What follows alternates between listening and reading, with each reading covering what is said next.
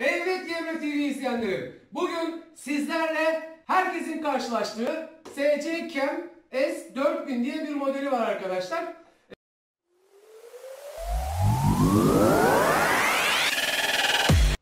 Bu arada hemen e, cihazımıza takmak için bir adet de hafıza kartı aldım. Kingston'un 32 GB'lık Class 10 bir hafıza kartını aldım arkadaşlar. Onu da kullanacağım aynı şekilde. Kutumuzu açıyoruz. Ha, böyle çekince çıkıyormuş. Şöyle bıraktık.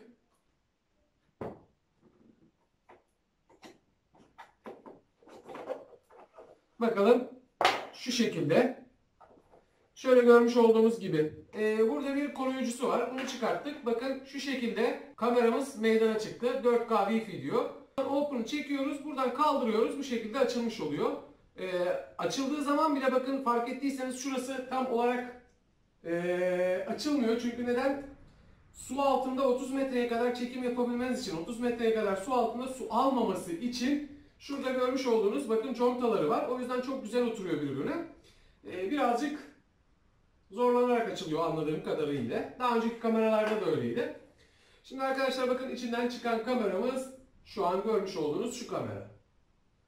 Bakın burada e, şarj için mini e, şarj için mini USB, HDMI çıkışı e, ve hafıza kartı takım yeri var. Üzerinde bir butonu var arkadaşlar. Önde power'ı var. Yanda yukarı ve aşağı yani ses açma ses kısmı ve aynı zamanda menü içerisinde hareketi sağlayan iki tuşu var. Altında bakın şu şekilde gördüğümüz bataryayı çıkartma bölmesi var. Şöyle çektik hemen bataryamız içinde mi? Evet içinde. Tutuyoruz, çekiyoruz. Bakın şu şekilde içinden bir bataryası çıkıyor. Rechargeable Li-ion battery diyor. Yani tekrar tekrar şarj edebilir. Li-ion bataryası mevcutmuş. Gücü ne kadar? Gücü burada yazmıyor. Bu tarafında yazar herhalde. 3.7 volt Li-ion batarya 900 miliamperlik 900 miliamperlik bir gücü varmış arkadaşlar. Tekrar çıkarttığımız şekilde bakın kafaları bu tarafa bakıyor. Bu şekilde yerine oturtturuyoruz kameramızın diyorum. Şimdi hemen taktık. Şimdi arkadaşlar e, bu kameramız aynı zamanda wireless kamera. Wireless kamera olduğu için bu kamerayı biz e, cep telefonumuzdan da yönetebiliyoruz. Aynı şekilde cep telefonumuzdan da bu kameranın görüntüsünü görebiliyoruz. E, bunu yapmak için arkadaşlar kutumuz nerede? Kutumuzun üzerinde bakın şurada görmüş olduğunuz Android QR kodu var. Eğer cep telefonunuz iOS'sa iOS QR kodunu okutuyorsunuz. Benimki Android olduğu için Android QR kodunu okuttum. Ve cep telefonuma CG Cam diye bir program kuruyor. O program vasıtasıyla e, wireless üzerinden yani bunun e, wireless'ına bağlanarak arkadaşlar wireless üzerinden görüntüyü cep telefonundan görebiliyoruz. Şimdi arkadaşlar e, önce bir açık menüsüne bakalım. E, şu an daha sökmedim gördüğünüz gibi bantları. Bantları birazdan sökerim. Açmak için e, power düğmesi burada bakın arkadaşlar. Zaten bu buton uluslararası standartları olan bir butondur. Bu butonu gördüğünüz her şey buradan açılacak anlamı taşır. Basılı tutuyorum. Bakalım CG Cam açılışı gerçekleşiyor şu anda. Üzerindeki ekrandan görüntü biraz kötü gözüküyor. Tabi bu çok normal çünkü üzerindeki ekran normal basit bir ekran. Şimdi burada e, yapacağımız ayarlar önce tarih ve saatini ayarlıyorum. Tarih ve saatini ayarlamak için menüye gireceğiz. Tabi bundan önce TP kart takılı değil diyor. İsterseniz önce kartımızı takalım. Hemen kapatmak için yine basılı tutuyorum. Bu arada hızlı açılıp kapanıyor. İnternetteki yorumlarda genelde açılıp kapanması için çok uzun süre bekliyoruz şeklinde e, yorumlar vardı. E, ben öyle bir şeyle karşılaşmadım arkadaşlar. Çok hızlı bir şekilde açılıp kapanıyor. Şimdi hemen kartımızı takalım içerisine. Evet arkadaşlar hafıza kartımızı cihazımıza takarken bakın cihazımızda kartımızın takılış şeklini gösteriyor. Yani şu kart bu şekilde takmaya kalktığım zaman bakın kırpılmış tarafı bu tarafa baktığı için yanlış takım diyor. Burada resimde gösteriyor arkadaşlar doğru takım şeklini. Kartı bu şekilde yani e, şu görmüş olduğunuz altın rengindeki e, metaller kameranın ön tarafına bakacak şekilde getiriyoruz. Bakın şimdi klik bir ses duyacağız. Bakalım içinden neler çıkıyor arkadaşlar aparat olarak. Evet e, tam tahmin ettiğim gibi bir kask bir de araç aparatı çıkıyor arkadaşlar. Ee, şimdi kask ve araç aparatının farkı ne diye soracak olursanız şöyle göstereyim size. Bakın bu kask aparatı. Nereden anladık kask aparatı olduğunu? Bakın yüzeyi arkadaşlar şöyle bir yuvarlağı var gördüğünüz gibi. Bu yuvarlak çeneye veya kaskın yanına gelecek. Birazdan kaskımı alayım. Kaskın üzerine tam oturuyor mu yoksa hafif yamuk mu kalıyor ona bakarız arkadaşlar. Bu kaska takmak için e, kaska yapıştırılacak olan aparat. Arka tarafında da zaten bandı var. Bandı söktüğünüzde yapışıyor. Kamerayı da buraya oturtturabiliyorsunuz. Çıt çıtlı raylı yolu var giriyor. Diğer parçamızı deneyelim. Bu parçası e, araç kullanan kişiler için düz zemin yani arabanın ön torpidosu, torpidosu araba torpidosu veya motosikletin ön tarafında e, kavranın yanında düz bir alan varsa o düz alana yapıştırıyorsunuz. Bakın şuradaki bandıyla çift taraflı bandı var üzerinde. Sonrasında bu kısmına da kamerayı isterseniz şu şekilde kızakla bakın böyle bir kızağımız var. Kamerayı bu şekilde kızakla oturtabiliyoruz bunun içerisine. Gördüğünüz gibi şu an kamera kızağa oturdu ve bu şekilde kızak oturmuş iken bakın şöyle istediğimiz gibi yukarı aşağı tabi buradaki vidayı gevşeterek yukarı aşağı hareket ettirip istediğimiz konumu ayarlayabiliyoruz. Bakalım kutumuzun içinden başka neler çıkıyor arkadaşlar. Bakın şarj cihazı çıkıyor. Şöyle 3-4 adet aparat çıkıyor. Bir de yapıştırması çıkıyor. Ee, bu aparatların kullanım şekline bakın bu kask aparatı diye geçer.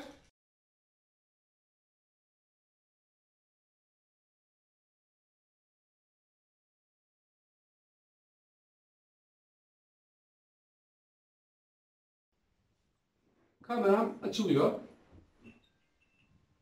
Arkadaşlar internette genelde açılışı çok yavaş diye yorumlar vardı. Ee, ben gayet hızlı buldum. Bilmiyorum 10 hafıza kartı taktım. Ee, Class 4 falan takanlar varsa yavaş açılması normal. 4K 30 fps çekim yapıyor. Şu an 58 GB boşluk varmış hafıza kartında. Ee, özür diliyorum 32 GB'lık değil 64 GB'lık hafıza kartı almışım ben. Bakalım. Ee, sonrasında wireless şu an açık değil. Wireless'ı aktif etmek için arkadaşlar şurada yan tarafında wireless tuşu var bakın üst tuşu. Üst tuşuna bastığımız zaman hemen wireless aktif oluyor ve wireless'a bağlanmak istiyor musunuz gibi bir soru soruyor. Onu birazdan size göstereceğim. Ee, şimdi normal bir şekilde menüsüne girelim. Bakın bastım. Ee, kapatma ve açma tuşuna bastığımız süreçte bakın menüyle e, şey özür diliyorum menü değil. Ee, video çekim boyutları arasında geziş yapıyor. Şimdi ben buraya girdim. Video çözünürlüğü 4K 30 fps. Tamam 4K'lık bir çekim yapmayı deneyelim. Ses içerisinde olsun mu? Olsun. Zamanlı video mu? Hayır. Döngü kayıt yok. Fotoğrafla ilgimiz yok. Geçiyoruz. Hemen bu bölüm 4K'da kalsın. Fotoğraf. Fotoğrafı da geçelim. Ben şu an sadece zamanlamayı yapmak istiyorum. Pozlama ayarları otomatikte kalsın. Dil Türkçe, tarih ve saate gelelim. Tarih ve saatimizi seçelim. 2018 diyor tarih saat için. Hemen biz bunu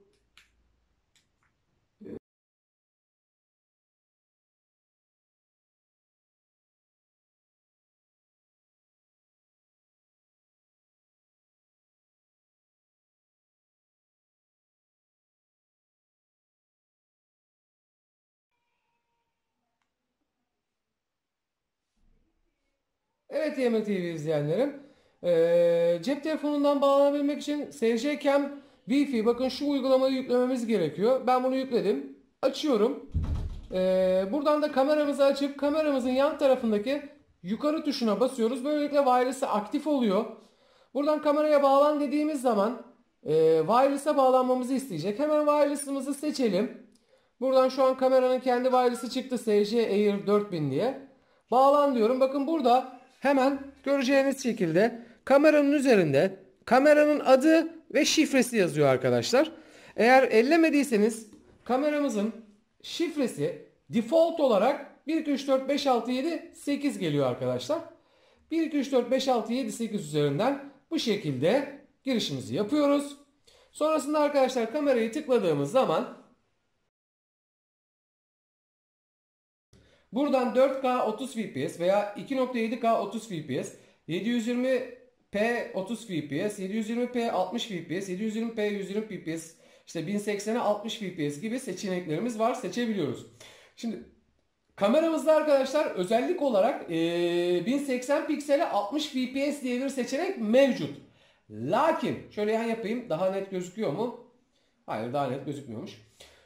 Ee, lakin arkadaşlar bu şekilde video kaydı yap dediğiniz zaman kamera 1080 piksel 60 fps'te video kaydetmiyor. Ne yapıyor?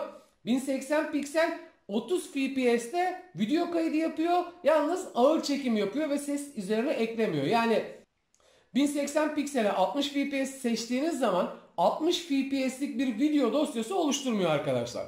30 fps'lik bir video dosyası oluşturuyor.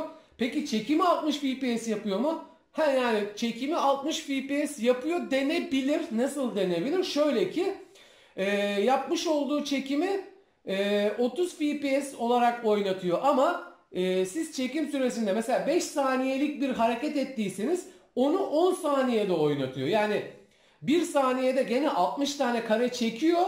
Fakat oynatırken 1 saniyede 30 kare oynattığı için sizin 1 saniyeniz gerçek hayatta 2 saniyeye tekabül etmiş oluyor. Yani kısacası sizi ağır çekimdeymiş gibi oynatıyor.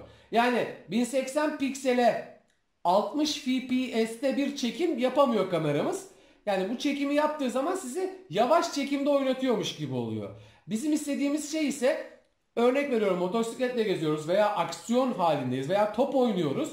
Topa vurduk topun gidişini e, ne bileyim böyle bulurlu bir şekilde izlemek yerine aksiyon kamerasında olduğu şekilde saniyede 60 kare çekerek yani net bir şekilde hareket etmesini istiyoruz. Fakat bu kamera o özellik var diye adlandırılmasına rağmen şurada gördüğünüz gibi 1080 piksele şey pardon 1080 piksele 60 fps yazmış.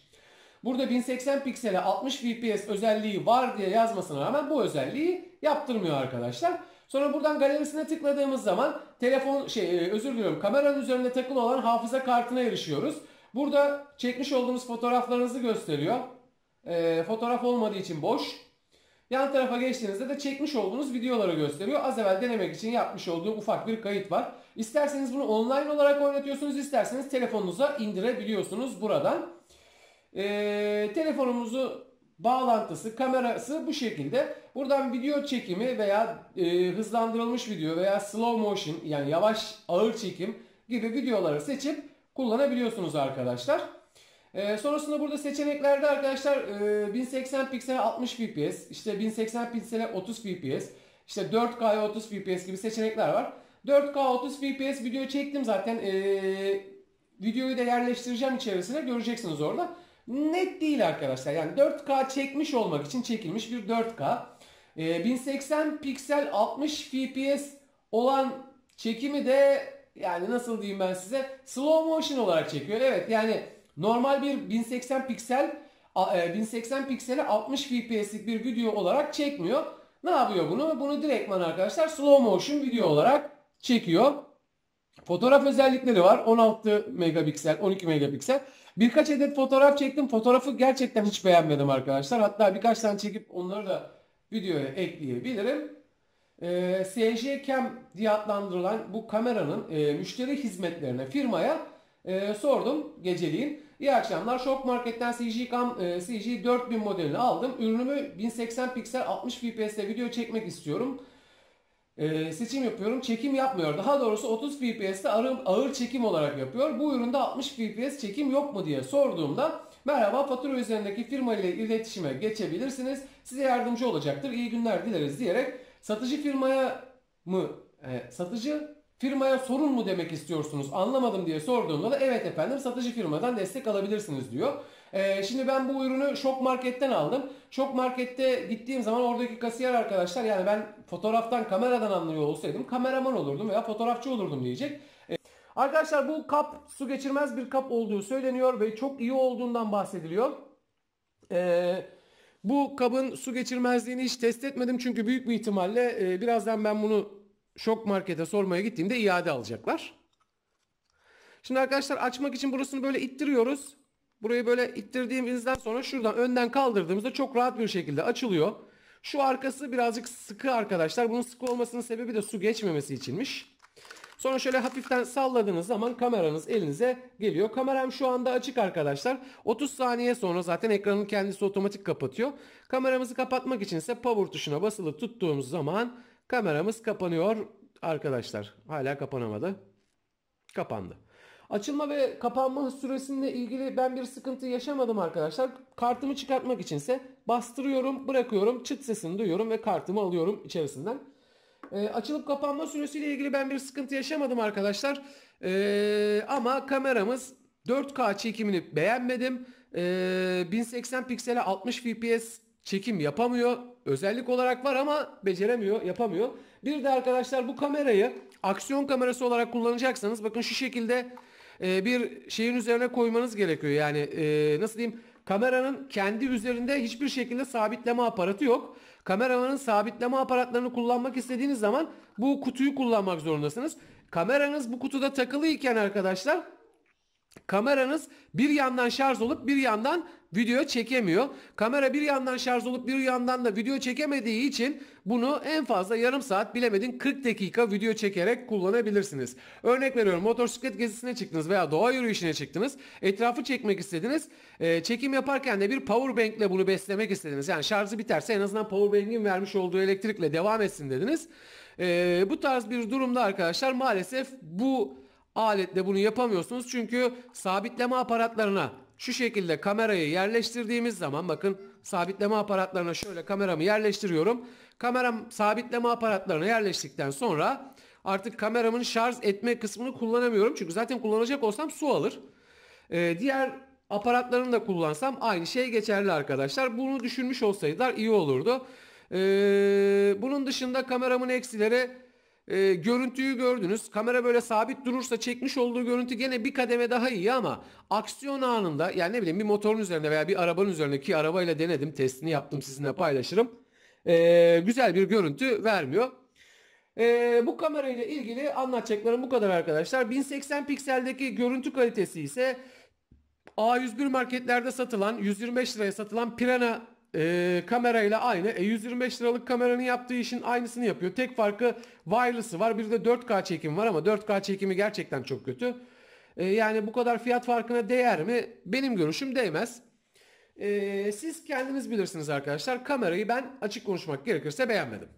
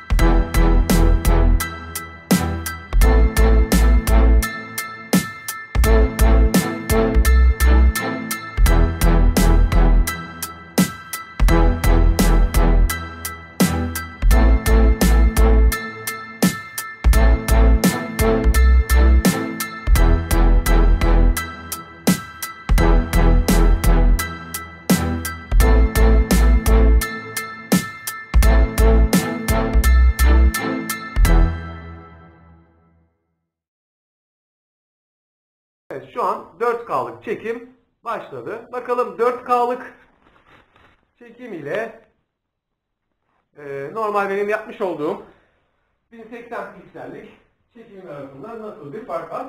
Evet arkadaşlar şu an e, bu görmüş olduğunuz TG Cam 4000 isimli kameram ile yaptığım çekim e, normal kameram ile yakın için kullandığım kameram orada kullandığım kamera. Şimdi diyeceksiniz ki e, kullandığınız kamera değil cep telefonu.